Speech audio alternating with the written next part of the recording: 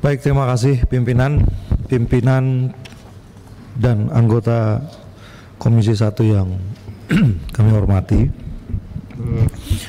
Terima kasih atas beberapa tanggapan dan pendalaman yang disampaikan eh, persis seperti apa yang disampaikan oleh pimpinan rapat bahwa kami mencatat ada beberapa klaster eh, pertanyaan dan pendalaman yang disampaikan oleh eh, para anggota Komisi 1 yang terhormat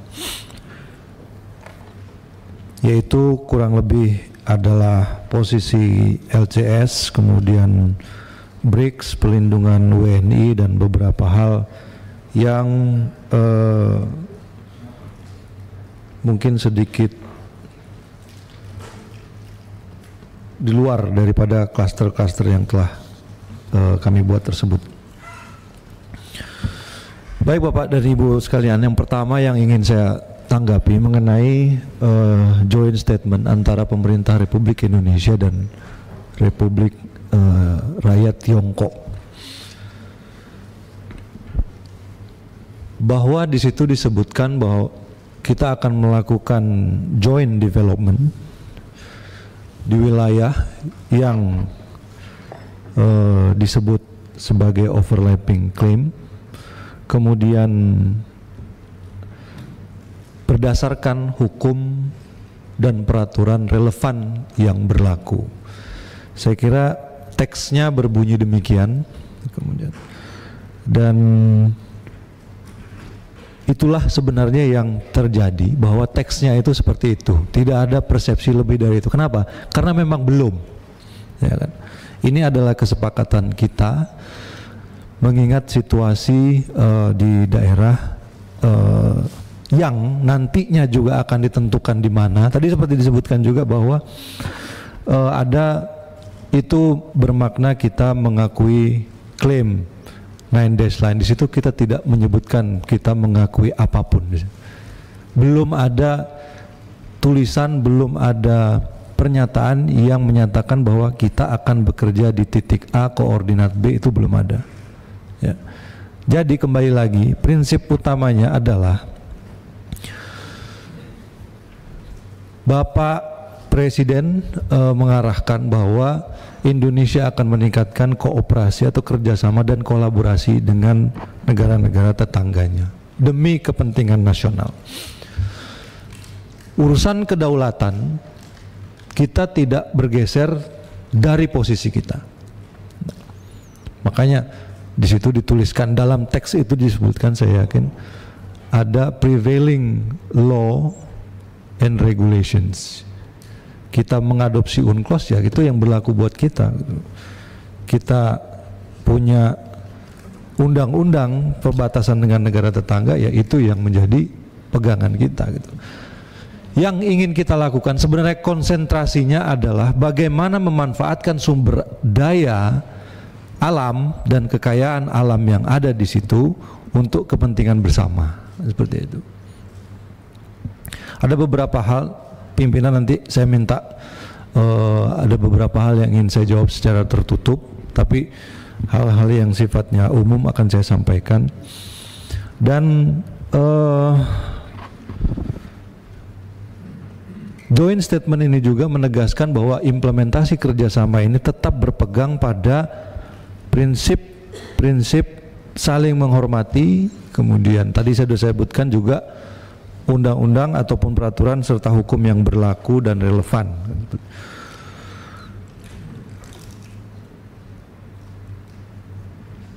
Indonesia juga tetap pada posisi bahwa tidak ada basis hukum internasional yang uh, sesuai dalam rangka uh, dalam urusan nine days line dan di situ juga sama sekali tidak tidak kita sebutkan. Tidak ada disebutkan uh, urusan nine days line ini. Bahwa komitmen Indonesia pada semua perjanjian internasional yang ada itu tetap berlaku ya. Kemudian ratifikasi dan implementasi perjanjian bilateral yang ada juga masih tetap berlaku. Kemudian Indonesia secara konsisten tetap memegang UNCLOS dan semangat Declaration of Conduct in the South China Sea. Tadi juga ada kaitannya dengan pertanyaan Pak Rizky mengenai COC.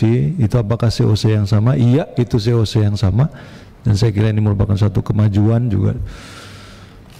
Dan kalau berbicara mengenai uh, eh, COC, kita juga saat ini sedang dalam masih dalam pembahasan, ya kan? ya, maksud saya ya, ya dengan ASEAN. Karena pada tahun 2023 eh, ASEAN dan ER, RRT sudah sepakat untuk mempercepat negosiasi COC yang berjalan sejak tahun 2019. Kemudian semua peserta negosiasi juga sepakat dengan Code of Conduct ini harus segera diselesaikan untuk menjaga situasi di kawasan. Jadi masing-masing ini semuanya punya standing yang sama, ya.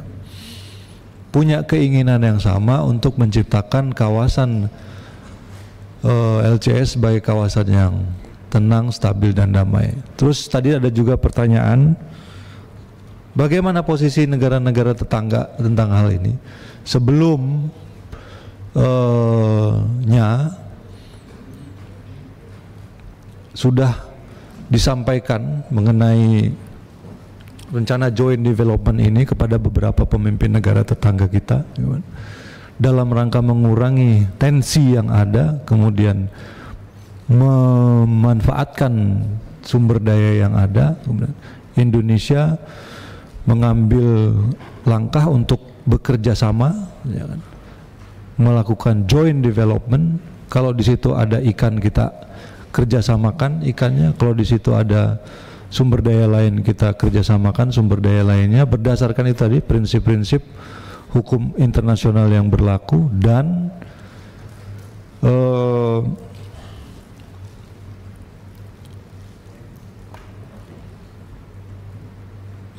prinsip saling menghormati kedaulatan masing-masing negara. Posisi Indonesia tetap, posisi negara-negara tersebut tetap, tetapi 50% dari nol adalah nol. Kalau misalnya tidak ada sesuatu yang bisa kita ambil, tidak bisa kita manfaatkan untuk keuntungan dan kepentingan bangsa kita, alangkah lebih baiknya kalau kita melakukan kerjasama yang bisa menguntungkan dengan sekali lagi dengan tidak melupakan kaidah-kaidah dan prinsip-prinsip dasar yang berlaku. Artinya kedaulatan kita tetap kita jaga. Ya uh, pimpinan. Mohon izin. Ya. Ya Pak. Menarik untuk saya soal kerjasama di wilayah itu. Oke sampai di situ titik. Ya begitu. Dengan harapan Cina tidak mengklaim itu juga sebuah kerjasama kan? Tidak mengklaim soal main das lain gitu ya. Itu sudah kerjasama. Yang kami khawatirkan ya mohon itu hanya sebuah statement diplomasi saja. Sebab kalau diteruskan ada kerjasama misalnya di laut menangkap ikan, ketika nanti nelayan Cina masuk ke situ, ya berarti kita akan bekerja sama dengan nelayan Indonesia.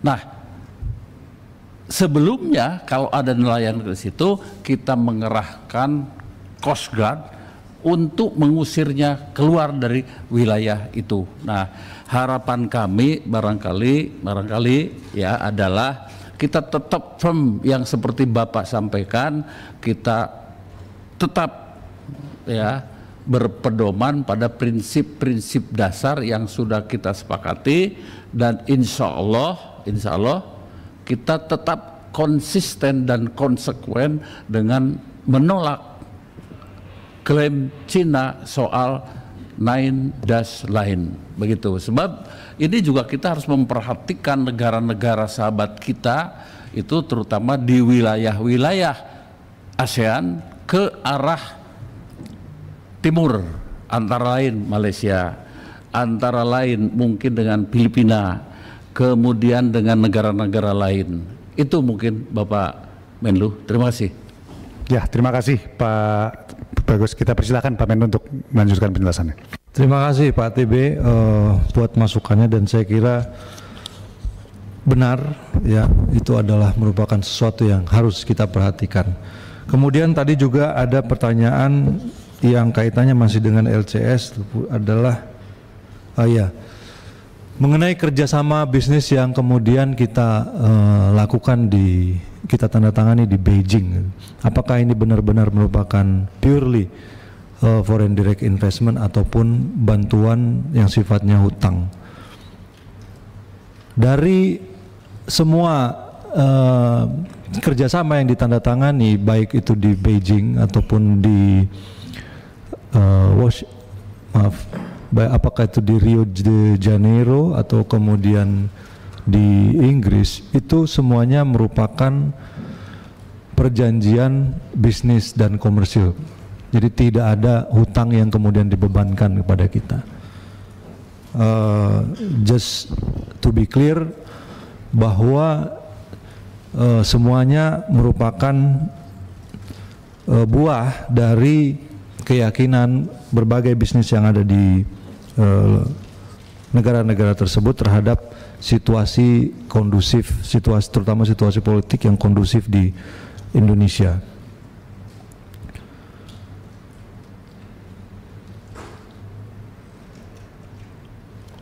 Kemudian mengenai BRICS.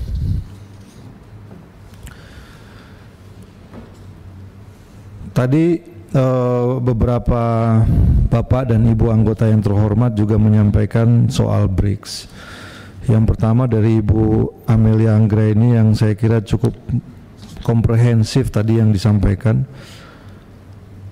Apakah kita di BRICS ini sebagai pengikut, kemudian apakah kita dianggap cukup serius hanya dengan mengirimkan utusan khusus?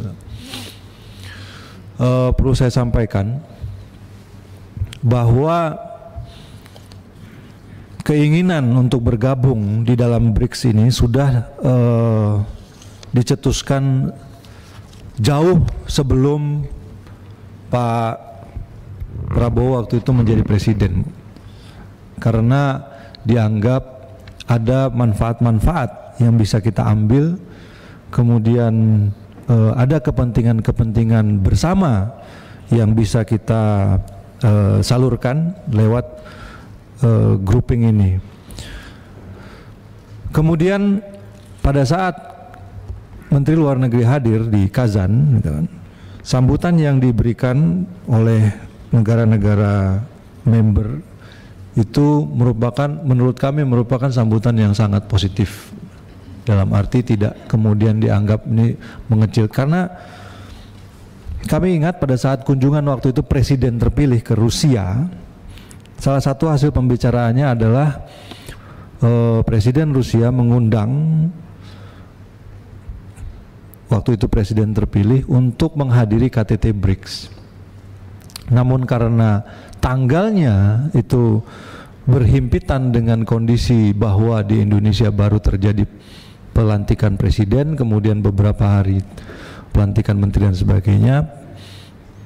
Presiden terpilih waktu itu Pak Prabowo meminta maaf tidak bisa hadir dan akan mengirimkan utusan khusus. Bahkan dalam bercandaan keduanya waktu itu sampaikan kalau misalnya bisa boleh nggak KTT-nya dimundurin setelah tanggal 22 waktu itu kalau saya tidak salah yang juga dibalas oleh Presiden Putin bagaimana kalau kita majukan jadi tanggal 17 Oktober bertepatan dengan hari ulang tahun? Jadi sebenarnya suasana dan kemistrinya sangat bagus yang ingin saya sampaikan ya. Suasana dan kemistrinya sangat bagus jadi tidak ada uh, sesuatu yang sifatnya uh, kita menganggap ini tidak penting kemudian presiden mengirimkan utusan khusus. Dan uh, saya kira kita saya juga perlu menyampaikan bahwa ada mekanisme dari satu negara untuk menjadi diterima menjadi anggota BRICS. Yang pertama kita menyampaikan intention kita untuk bergabung dengan BRICS yang kemudian akan dicatat sebagai uh, negara yang tertarik atau interested country.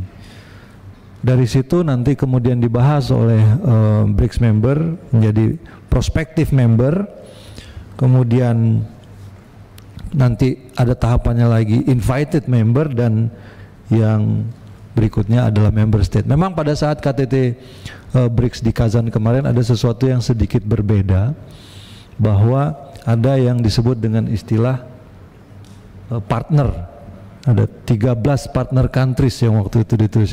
Ini sebelumnya uh, belum pernah ada. Namun saya dapat sampaikan di sini bahwa excitement untuk menerima Indonesia itu ada.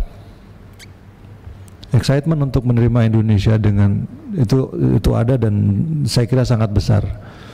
Memang tadi seperti yang disampaikan oleh Pak Niko ada beberapa negara yang mungkin tidak melihat uh, intensi Indonesia untuk masuk ke BRICS itu sebagai sesuatu yang we're not seeing each other in the eye level ya agak tapi uh, secara umum tidak ada keberatan memang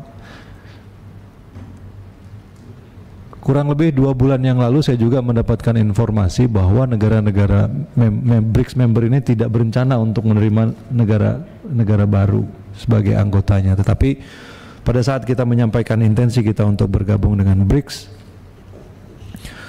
uh, original members ini semuanya uh, menyambut baik. Bahkan saya juga sempat berbincang dengan uh, Presiden Putin waktu itu dan Menteri Luar Negeri Lavrov bahwa mereka akan membantu aksepsi Indonesia ke BRICS dan bisa mempercepat uh, prosesnya.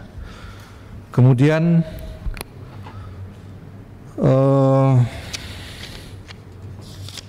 masih kaitannya juga dengan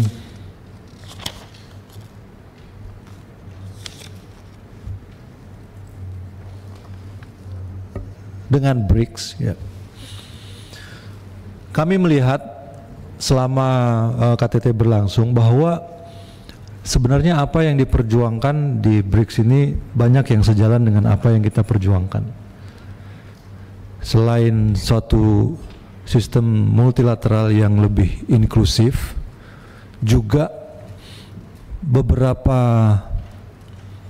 uh, isu yang sering kita suarakan di dunia internasional juga di address di situ. Khususnya satu adalah kemerdekaan uh, Palestina. Dan Palestina juga merupakan satu tema yang menjadi concern pada saat itu dan saya kira BRICS ini juga bisa merupa, menjadi satu uh, media dan tools bagi kita untuk bisa memperjuangkan hal ini. Selain kepentingan-kepentingan ekonomi ya kemudian ada yang menyampaikan bahwa um, ada yang menyampaikan soal isu-isu de-dolarisasi kemudian menciptakan mata uang baru. Pada saat KTT terakhir kemarin hal tersebut sama sekali tidak dibicarakan memang saya tahu ada beberapa yang beredar di sosial media mengenai mata uang dan sebagainya tetapi itu sama sekali tidak tidak dibicarakan dan tidak pernah uh, disentuh terutama urusan menggunakan mata uang. Tetapi intinya adalah bahwa BRICS merupakan satu media yang akan yang bisa kita manfaatkan sebagai kendaraan yang tepat, sebagai media yang tepat untuk membahas dan memajukan kepentingan bersama-sama dari negara-negara berkembang. Ini juga merupakan suatu uh, implementasi dari politik luar negeri kita yang independen dan aktif. Ya. Memang ada juga uh, beberapa suara yang kemudian menganggap masuknya Indonesia ataupun niat Indonesia untuk masuk ke BRICS adalah sesuatu yang perlu ditinjau kembali. Namun uh, kita tetap pada posisi bahwa ini adalah uh, kebebasan kita sebagai negara berdaulat untuk menentukan dengan siapa kita mau bekerja sama untuk kepentingan nasional kita.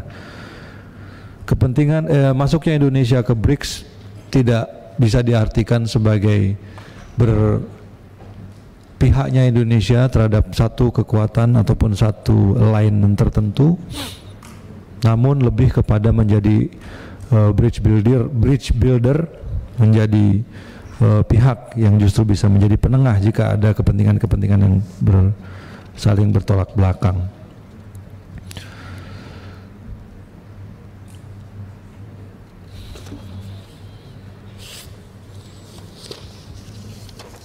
Izin Pak Ketua, Pak Menteri sebelah kiri Pak. Uh, tadi Pak Menteri menyampaikan bahwa ada tahapan-tahapan yang uh, harus dilalui untuk uh, prospective member untuk bergabung dengan BRICS. Pertanyaan saya, kita sekarang ada di tahapan apa? Baru di intention atau sudah dianggap sebagai prospective member di fase kedua yang tadi Pak? Kita di interested country. Interested, interested country. state ya. Dan itu nanti pihak mereka yang akan mengakses mengakses itu. Satu hal yang juga yang perlu saya sampaikan terkait dengan itu adalah bahwa BRICS akan menyesuaikan dengan hukum, tata cara dan norma yang berlaku di negara-negara calon anggota eh, tanpa kita harus mengadopsi ataupun eh, apa istilahnya menyesuaikan dengan aturan-aturan yang mereka miliki. Mereka lebih lebih fleksibel. Uh,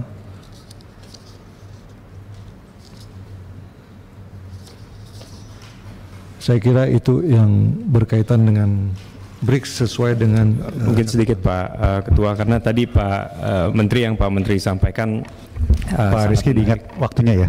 Baik. Uh, sebenarnya terkait dengan tadi Pak, Pak Menteri sampaikan adanya uh, potensi dedolarisasi yang uh, sampai saat ini hanya sebagai uh, rumor dan tidak dibahas sama sekali di uh, KTT kemarin. Uh, tapi ini kan bukan isu dedolarisasi Pak, tapi lebih ke simbol bahwa uh, saat ini Uh, kemarin Presiden Trump mengeluarkan uh, statement bahwa kalau sampai BRICS uh, membuat uh, currency sendiri akan dikenakan tarif 100% dan lain sebagainya. Saya percaya itu pasti masih membutuhkan waktu dan itu masih berandai-andai terkait dengan uh, pembuatan currency. Tapi yang lebih pentingnya adalah uh, simbol di mana saat ini BRICS uh, dianggotai uh, atau salah satu kedua anggotanya adalah negara-negara yang uh, akan terus mencoba untuk melarikan diri dari economic sanctions yang diberikan oleh Amerika itu Amerika Serikat itu sendiri. Pertanyaan saya singkat saja, setelah nanti uh, dilantiknya Presiden Trump sebagai Presiden Amerika Serikat, apakah ada upaya ataupun langkah-langkah antisipatif yang dari pihak Kementerian Luar Negeri itu sendiri akan ambil uh, terkait dengan uh, pressure yang nanti uh, mungkin bisa terjadi setelah pelantikan uh, Presiden Donald Trump? Kembali.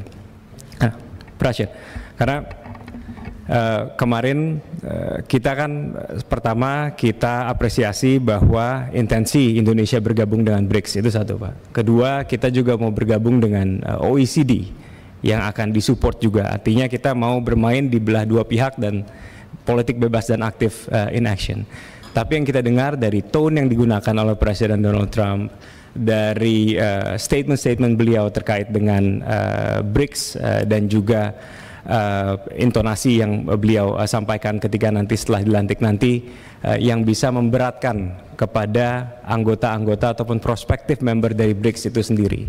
Pertanyaan saya kepada Pak Menteri, apakah sudah uh, dipikirkan satu langkah antisipatif yang kemungkinan nanti ke depan bisa turut memberatkan Indonesia kalau kita jadi bergabung dengan BRICS itu sendiri, Pak? Saya kira ini ya sebabnya uh, kenapa ya, saya kira Pak Presiden Prabowo juga menitik beratkan peningkatan kemampuan dan kesejahteraan kita secara ekonomi untuk bisa berdiri di atas kaki kita sendiri. Karena inilah yang sama-sama kita lihat yang terjadi di dalam percaturan uh, global. Ada satu kekuatan yang kemudian mengancam ataupun menekan kekuatan yang lain dan kita secara langsung eh, maupun tidak langsung merasakan dampaknya. Oleh karena itu, kita perlu kekuat punya kekuatan yang inherent economically. Sebabnya pemerintah sekarang menitik beratkan program-program pemerintah itu pada swasembada pangan, swasembada energi, kemudian hilirisasi. Dengan demikian ketergantungan kita itu tidak besar dan kita akan lebih mudah menentukan arah politik kita sendiri. Nah, kemudian saya tadi tidak bilang bahwa tidak ada isu dedolarisasi di BRICS. Saya tidak saya yang saya katakan bahwa pada saat KTT hal ini tidak dibicarakan, ya kan. Nah, tentu saja kembali lagi jika kita menganggap bahwa ada hal-hal yang akan merugikan kepentingan nasional kita ya kita bisa saja tinjau ulang ataupun lihat kembali. Yang penting intinya adalah bahwa bergabungnya kita dengan grouping multilateral mana pun ini diarahkan kepada kepentingan nasional bangsa kita. Yang pertama. Kemudian uh, saya terima kasih tadi atas beberapa uh, masukan dan pandangan Bapak dan Ibu anggota Komisi 1 yang terhormat mengenai dukungan anggaran, kemudian uh, satu hal lagi juga yang ingin saya address uh, Pak Rizky tadi bahwa ada beberapa pandangan-pandangan yang mengatakan bahwa Indonesia itu seolah desperate ingin impress. Tidak, sama sekali tidak benar. Saya kira justru yang terjadi malah kebalikannya. Kan. Bahwa banyak pemimpin-pemimpin negara yang impress sama polisi Indonesia dan ingin uh, dan ingin bekerja sama lebih besar dengan Indonesia. Kemudian uh, Indonesia membuka diri seluas-luasnya, tentu saja tadi juga disampaikan merupakan suatu kerjasama ekonomi yang harus fair dan free. Kita ingin ada resiprokalitas di situ. Kita ingin ada uh, suatu hubungan yang saling menghormati dan saling menghargai dan saling menguntungkan. Kemudian saya uh, ingin menyinggung juga mungkin beberapa hal yang ada kaitannya dengan pelindungan warga negara Indonesia. Sebelumnya pimpinan waktunya sudah lebih 13.30 apakah saya boleh meneruskan? Ya, kita 10 menit. Belum belum baca kesimpulan. Jadi saya minta 15 menit. Ya. Terakhir kali ya kita kalau misalnya itu nanti kita juga siapkan bisa jawabannya secara tertulis. Baik. Setuju? 13.45 kita lanjutkan. Baik. Uh, eh, 10 menit. Banyak juga yang usia banyak. 15 Pak, sampai 13.45 tenang. Oh sampai 13.45. Ya, itu ini agak Baik. kecepatan itu Pak. Mengenai uh, pelindungan warga negara Indonesia ya mungkin akan lebih bisa concise kalau saya minta Pak yang ada siapa Pak Direktur ya Pak Direktur uh, eh, PWNI untuk menyampaikan tanggapannya. Ya, silakan Pak. Yang kami hormati, Bapak Pimpinan dan seluruh anggota Komisi 1 yang kami hormati, atas izin Bapak Menlu, izin menyampaikan uh, beberapa uh, tanggapan terkait dengan update penanganan kasus pelindungan warga negara Indonesia secara singkat. Izin kami melakukan clustering. Pertama yang tadi ditanyakan terkait dengan 35 warga negara Indonesia yang ditangkap di Malaysia. KBRI Kuala Lumpur telah uh, mengirimkan nota diplomatik untuk meminta akses ke konsuleran. Mereka saat ini berada dalam detensi imigrasi di Tanah Merah, Kelantan. Kemudian terkait dengan warga negara Indonesia yang uh, ditangkap di Amerika terkait dengan black money scam, saat ini yang bersangkutan telah bebas melalui bailout, namun KBRI Washington DC tetap akan mem mem memonitor uh, penanganan kasus dan juga penegakan hukumnya. Kemudian terkait dengan kasus online scam, dapat kami sampaikan bahwa sejak tahun 2020 Kemlu mencatat terjadi peningkatan yang sangat tinggi jumlah kasus online scam maupun negara tujuan. Sejak tahun 2020 hingga November tercatat ada 5.118 kasus online scam yang awalnya hanya di Kamboja saat ini sudah menyebar ke sembilan negara tujuan.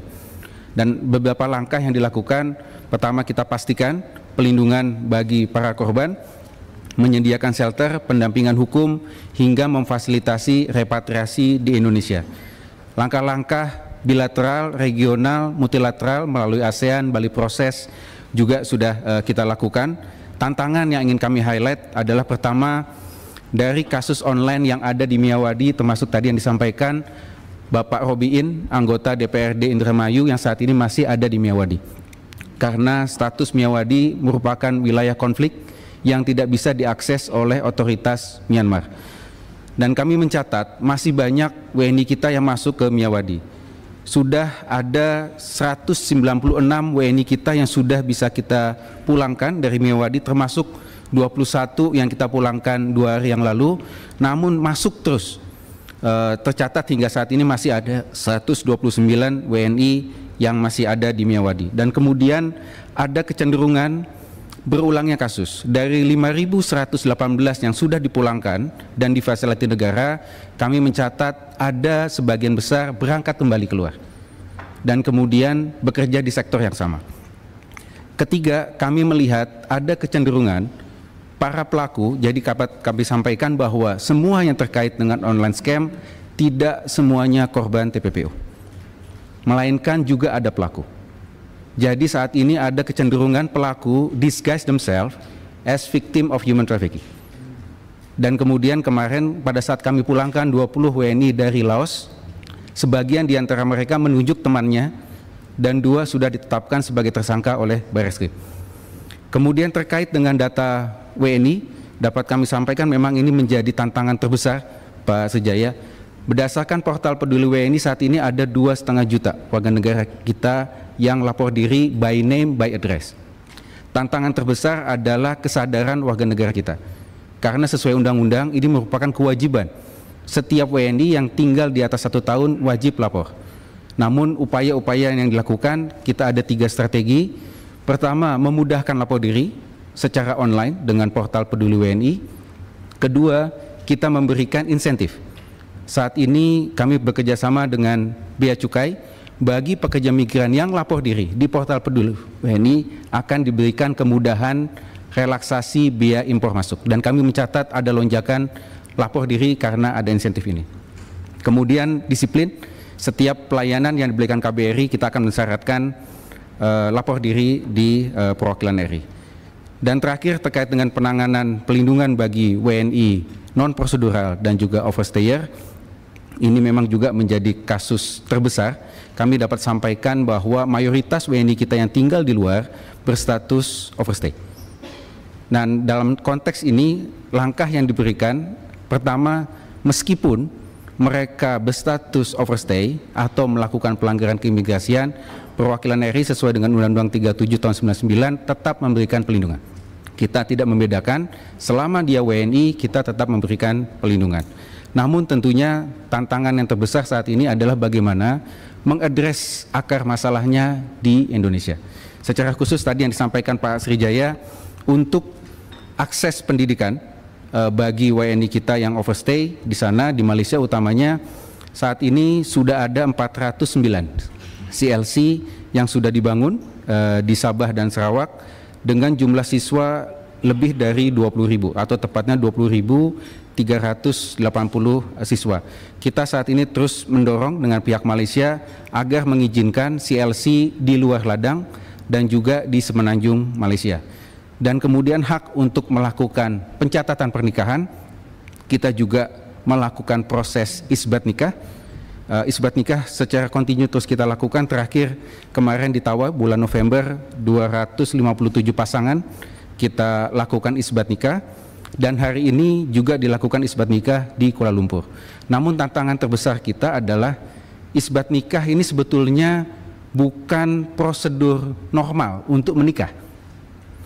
ini merupakan langkah luar biasa karena mereka sudah menikah siri, kemudian kita isbatkan melalui pengadilan agama.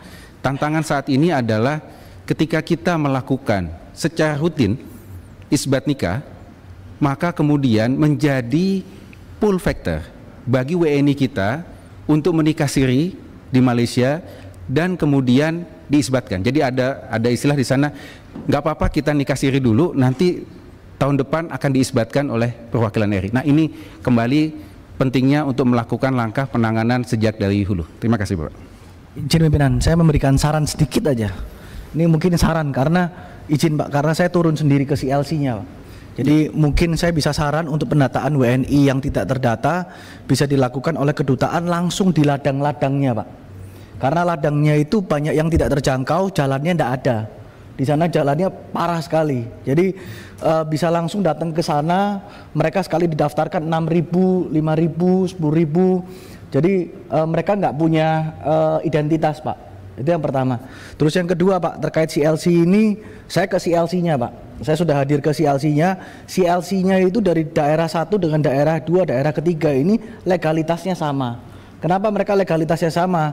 uh, karena mereka mengajukan permohonan untuk CLC yang baru itu belum diterbitkan oleh Kemendikbud sehingga uh, gaji gurunya juga sangat minim pak di sana itu di bawah satu juta jadi uh, sangat kecil jadi mohon kalau bisa di, dibantu terkait permohonan itu sudah numpuk di konsulat pak ya sama yang terakhir yang paling penting buat mereka itu adalah terkait pembuatan paspor itu jangan melalui agensi yang dipermainkan oleh mafia-mafia di sana karena harganya mahal sekali. Kalau bisa dari konsulat memberikan uh, kerjasama dengan uh, kerajaan Malaysia agar itu bisa diminimalisir karena pembuatan paspor, paspor itu hanya 150 ringgit. Pak mereka, Abraham cukup ya? Cukup, ya itu aja. Tolong dicatat lain kali ya. kalau minta izin, izinnya dikasih dulu. Terima kasih. Ya, saya rasa cukup dari penjelasannya. Uh, mau ditambahkan? tambahkan mengenai pertanyaan mengenai kontingensi di Timur Tengah, Bapak. Kan, siap. Izin secara singkat uh, terkait dengan penanganan WNI di wilayah konflik yang ada di Timur Tengah. Saat ini KBRI Beirut telah menetapkan status siaga satu untuk Lebanon, KBRI Damaskus untuk beberapa provinsi juga telah menetapkan siaga satu dan juga KBRI Aman siaga satu untuk wilayah Israel dan Palestina.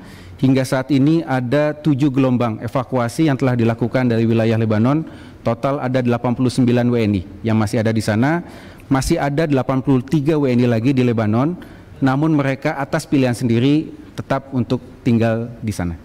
Nah, kemudian terkait dengan uh, situasi yang ada di Ukraina, KBRI Kiev juga telah menyusun rencana kontingensi dan juga KDI Taipei terkait dengan situasi yang di Taiwan juga telah menyusun rencana kontingensi. Terkait dengan persiapan di pusat, saat ini telah dibentuk Crisis Response Team terdiri dari unsur-unsur Kemlu dan juga TNI untuk memastikan jika terjadi keperluan evakuasi maka kita sudah siap melakukan evakuasi. Demikian Bapak, terima kasih. Terima kasih Pak atas penjelasannya. Kami lanjutkan Pak Menteri.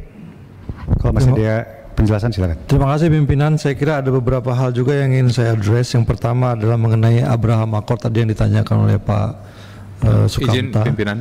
Uh, apakah ada yang mesti disampaikan secara tertutup atau bisa terbuka saja Pak, Pak Menteri? Kalau masih memungkinkan ya. Langsung tertutup aja kalau gitu Pak Menteri. Baik. Tertutup, Gini, tertulis saya, juga boleh. Saya saya mau saya mau serahkan ke teman-teman dulu. Ini ada mungkin ada pendalaman sedikit beberapa poin yang sifatnya uh, perlu disampaikan secara tertutup. Ya kita ada masih waktu sedikit. Apakah kalau Pak teman-teman setuju kita lanjutkan uh, pembahasan ini secara tertutup. Gimana, Bapak Ibu? Setuju?